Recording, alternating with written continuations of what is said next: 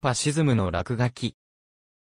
アンティファは、アンチファシズムの略。反ファシズムとは、ファシズムに反対する思想、政治姿勢、政治運動、抵抗運動。反ファシズムの活動家は、反ファシストと呼ばれる。反ファシズムはファシズムに反対する運動として、もともとは、ベニート・ムッソリーニ体制の反対運動を指す。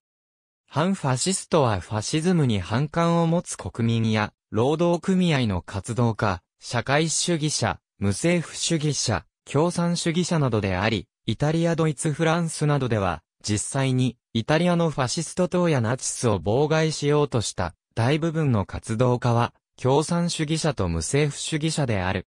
コミンテルンなどの共産主義者の立場では、ファシズムとは衰退する、資本主義の最後の形態である、帝国主義の最悪の形態であり、ファシズムは資本主義の消滅を避けるための最後の道具だと分析する。その意味で、ファシズムは反階級闘争的なシステムであり、支配階級が救われるようなイデオロギーであると主張する。保守主義や地域主義からの視点からの反ファシズムの思想も存在する。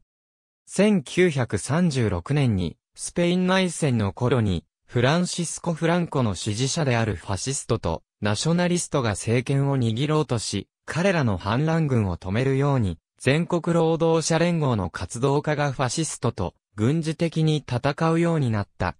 その頃、反ファシズムの運動家が様々な国からスペインに到着したことによって、国際旅団が形成された。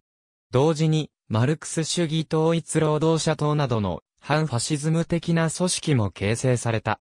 ジョージ・オーウェルがプの組合に入った有名な反ファシストである。ナショナリストと共和主義者との衝突によって内戦になる。しかし反ファシストの陣営にも、その頃スターリン主義者であった共産主義者と無政府主義者との対立が激しく、反ファシスト同士でも殺し合ったことがある。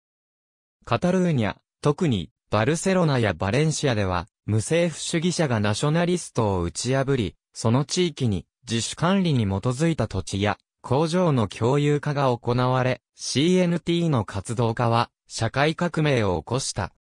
フランコがイタリアのファシスト党やドイツのナチスに金銭的にも軍事的にも支持されたが、共和主義者がフランスイギリスなどに支持されなかった。結果として1939年に反ファシストたちが敗北し、フランコ独裁が1975年まで続く。しかし、フランコがスペインから非合法に存在していた CNT を解散させることができず、1975年に合法になった。ありがとうございます。